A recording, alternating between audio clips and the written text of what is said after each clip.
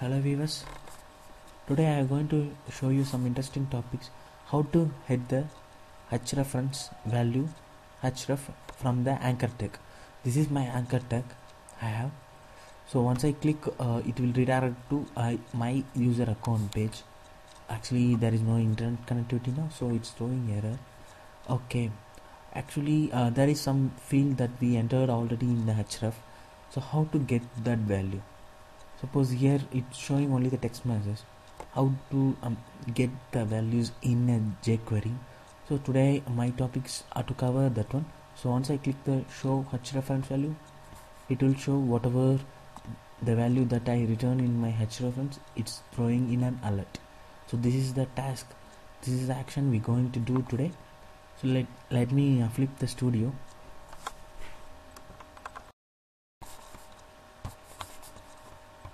okay. First I'm going to add my anchor tag and button.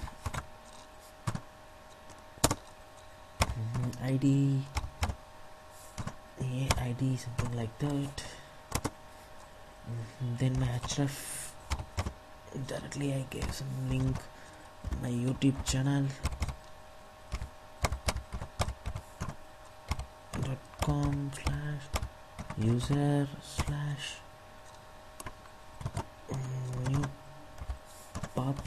edu okay. I just set my channel name go free launcher this is my channel and this is my link of my uh, YouTube. Okay fine. Just add my button here. Mm, okay. Show href value. Okay I have my button. Okay now my HTML tags are ready. Then I'm going to write my script. Oh, script type.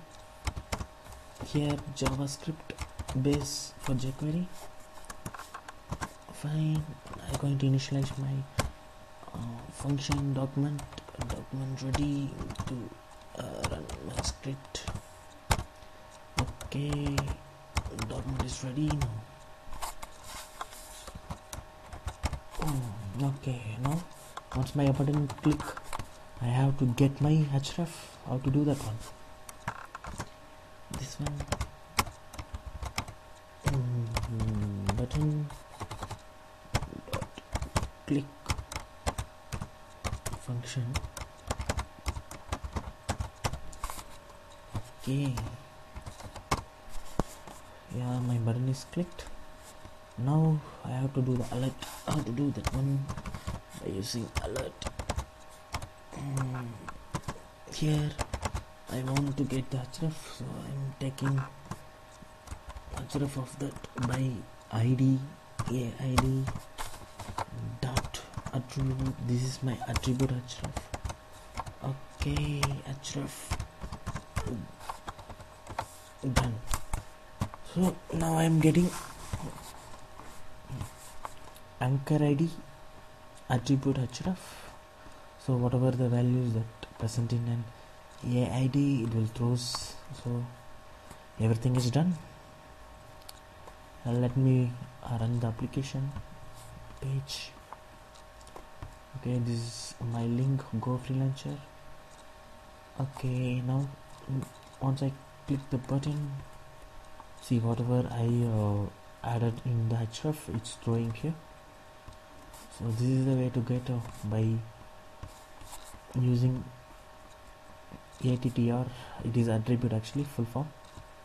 So like last three session I covered how to get the content by using value attributes lot of stuffs. Please go through my previous uh, videos to get all the stuffs to get the values in a different format. Thanks for watching the video. Please keep watching. I will get uh, some good things uh, to cover the jquery